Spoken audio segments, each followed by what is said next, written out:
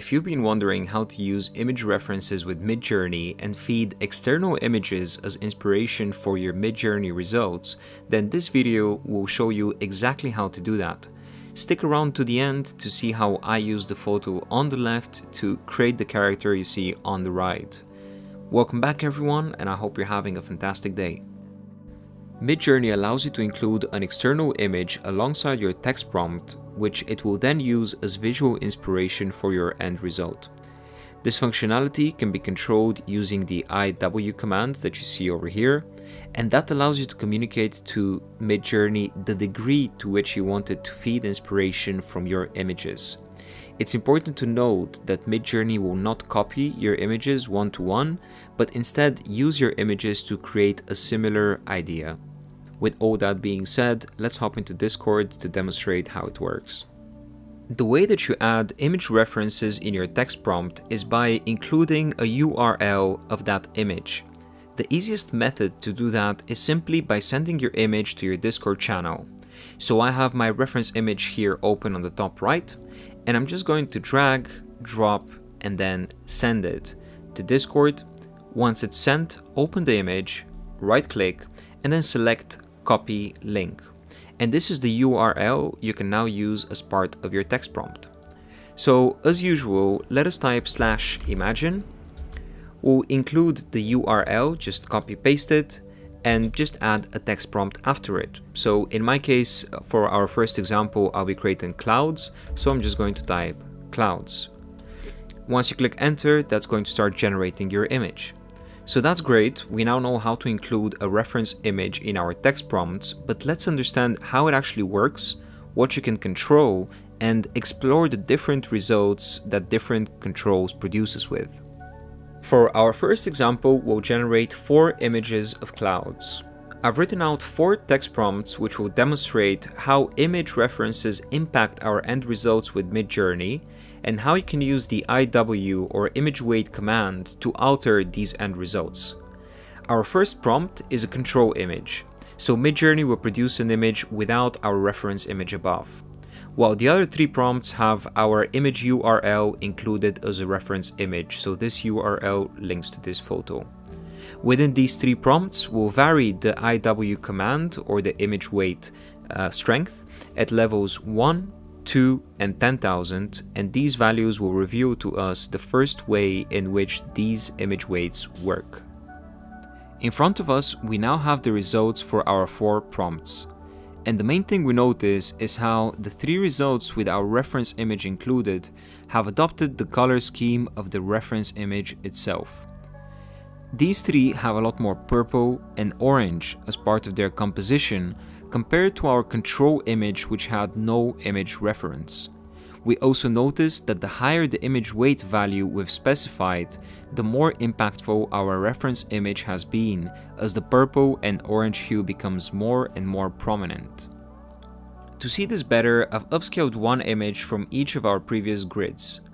Looking at the prompt with image weight 1, here at the top right, we start to see some purple and some orange as well, but we also see the presence of blue, which comes from our text prompt as blue is the main color seen in our control image. At image weight 2, we now have no more blue present, and apart from some beige in the clouds, all the colors are from our reference image. This is expected because as we increase the image weight parameter, Midjourney puts more importance on our reference image. In the final image, I've placed 10,000 weight on the reference image and we can see that Midjourney has pretty much ignored the cloud text prompt and has started improvising at recreating our reference image, as can be seen by some of these plants that were introduced to our result. In my experience, using a weight between 0 and 5 is the most effective as anything higher, Midjourney ignores your text prompt and you lose control over the end result to a large degree. Nevertheless, play around with this in your own images and find what works for you. You can actually include numerous reference images, not just one. Including the same image three times is likely to provide more prominent results than only including an image once. So let's replicate example 1, but with a new reference image which will link three times as part of our prompt.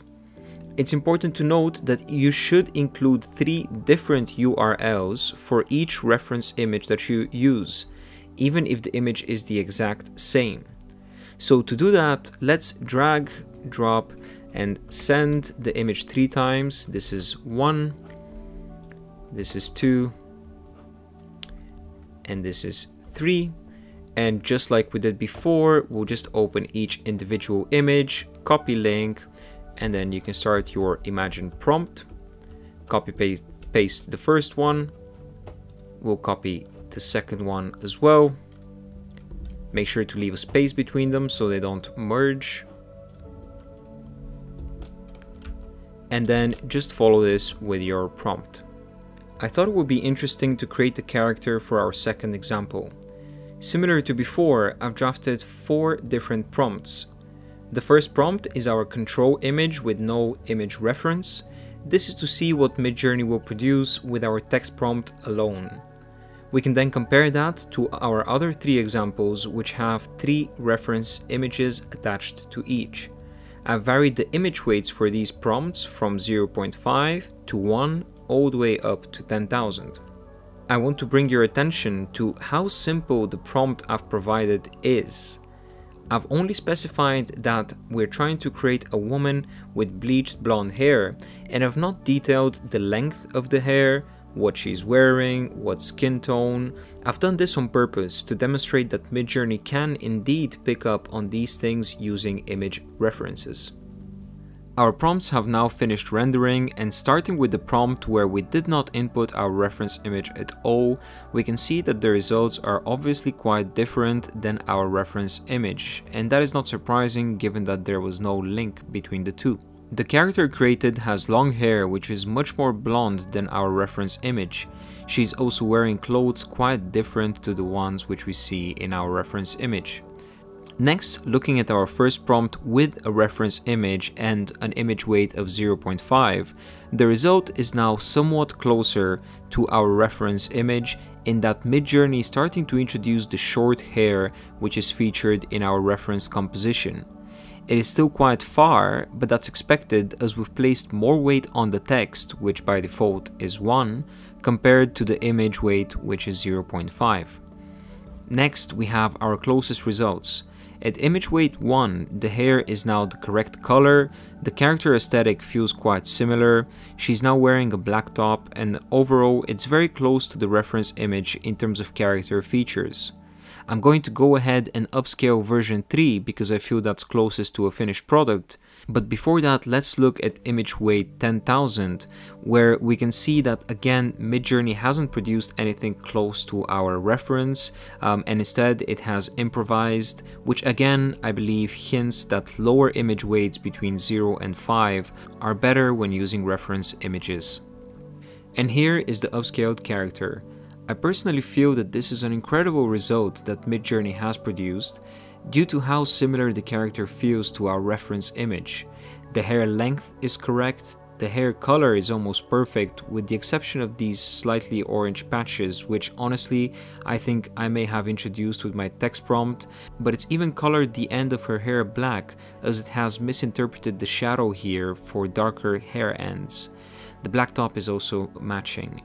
I've not played around with re-rolling numerous times or try out different text combinations as I wanted to conduct a quick and raw demonstration for you, so you know what to realistically expect on your first try.